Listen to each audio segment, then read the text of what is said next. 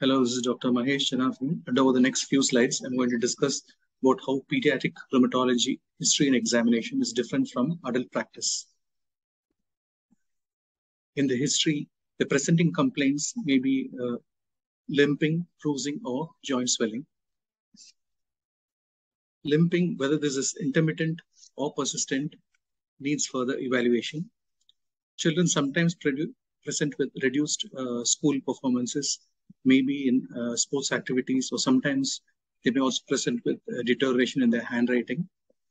Joint swelling in children may be subtle and it may be difficult for the parents to differentiate between normal and abnormal joints. It may be challenging even to the healthcare professionals, particularly when children present with symmetric joint swelling. Children may have reluctance to bear weight in the morning in cases of inflammatory conditions. The next point in history taking is to see how the child is, whether the child is irritable, clingy, or reluctant to play. Children may not be able to verbalize pain and may sometimes present with behavioral changes. And in older children, they may actually avoid activities, particularly sports activities that they previously used to enjoy. The next point in history is to find out where the pain is and to focus on localizing the site of pain. In children, particularly if the symptoms are asymmetrical and if the site of pain is persistent, that's in particularly one particular part of the body, it's more likely to be pathological. So children may sometimes present with referred pain where they can have actual pathology in the hip, but be present with knee pain or an ankle pain. The next point in history is to see at what time of the day the symptoms, whether it's morning or daytime symptoms, association with diurnal variation.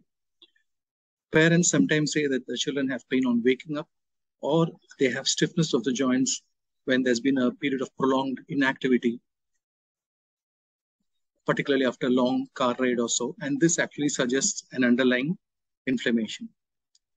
We also need to ask some questions regarding the ability of the children to do physical activity, whether they're able to run and walk as normal, or whether there's been any regression of milestones. If there's only a motor uh, milestone regression, then we need to look out for musculoskeletal problems. If there is associated language and speech involvement, I mean delay in these domains, then we need to watch out for a global developmental delay or for a central nervous system problem. We also need to find out if there's any school issues. Is the child avoiding school or is there any bullying at school? Some children may present with uh, behavioral problems. They may have present with headache, abdominal pain, joint pain in a very uh, non-specific way. And in such cases, very sensitive questioning to the social situation at school and at home is a key to identify the underlying problem. In the history taking, you need to also ask about night pain which may actually suggest, the presence of it may actually suggest growing pain, which is mostly benign. But we also need to ask for other systemic features such as fever, weight loss, loss of appetite, and so on. Because this may actually uh, suggest an underlying systemic pathology or a leukemia. Night pain, particularly which is unilateral and persistent, may be pathological and sometimes may suggest the presence of an underlying osteoid osteoma or a chronic recurrent multifocal osteomyelitis is there any uh, predictability of symptoms?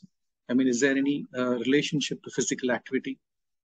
So pain that occurs after exercise, mostly at the end of the day, may actually mean an underlying mechanical problem such as benign joint hypermobility syndrome and may suggest something like an Ehlers-Danlos or Marfan syndrome.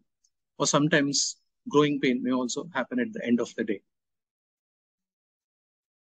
are the parents using any uh, medications to control the pain? Is there any response to pain relief? If there is response to simple pain relief, then it's mostly a benign condition. The absence of response is a cause of concern. It may actually mean uh, serious underlying pathology, or sometimes it may mean that it is just a functional problem. Our questions uh, should also be aimed at differentiating between whether the pain is mechanical or uh, inflammatory. In children who have mechanical pain, particularly children who have benign joint hypermobility with an underlying syndrome, the the pain the symptoms are normally worse on weight bearing and particularly after activity like prolonged uh, walking and after exercise. In inflammatory arthritis, the pain gets better with movement. In mechanical pain, the pain is worse in the evenings. And in inflammatory pain, the pain is mostly in the mornings and the pain gets to get better, tends to get better as the day progresses. In mechanical pain, the joint swelling is mild and transient and sometimes even intermittent, whereas in inflammatory arthritis, joint swelling is persistent. There may be instances of uh, instability and locking in mechanical pain, and it's usually absent in inflammatory pain. In the history, we need to be particularly care of uh, the red flags. And uh, these red flags may actually indicate the presence of an underlying sinister pathology. You need to probe for systemic symptoms, ask for history of fever, weight loss, loss of appetite, night sweats, and also in the history, find out if it is suggesting a bone pain or a joint pain. If it's joint pain, it could be an arthritis. If it is bone pain or a periarticular pain, it may actually suggest a, a leukemia. We also need to probe for uh, nocturnal symptoms, the presence of which again may be a benign, may suggest a benign condition like uh, growing pain, but the persistence of nocturnal symptoms along with an unwell child usually point to a sinister pathology. As far as pediatric uh, practice is concerned, something uh, very uh, significant that we need to question is to ask for questions which may point to inconsistency between the history and clinical findings, which may lead to a diagnosis of non-accidental injury. We need to bear in mind the normal uh, physiological variations in children. Tiptoe walking is normal in less than three years of age. Flat feet is normal up to four to six years of age. Pes cavus, the opposite of flat feet, is usually not common in children and it tends to be present in children with central nervous system diseases. Knock knees usually resolve by six years of age. Bow legs are normal until two years of age, and out toeing resolve by four years of age. The persistence of these sort of symptoms beyond the usual expected range, age range, and if it is asymmetrical, needs further evaluation.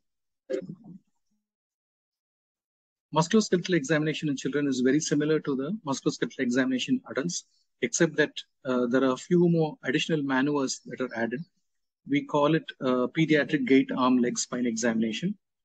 The additional maneuvers are to check for the assessment of foot, ankle, temporomandibular joint, elbow, and C-spine. For the assessment of foot and ankle, we ask the child to walk on heels and tiptoes to assess the ankle joint and the forefoot joints.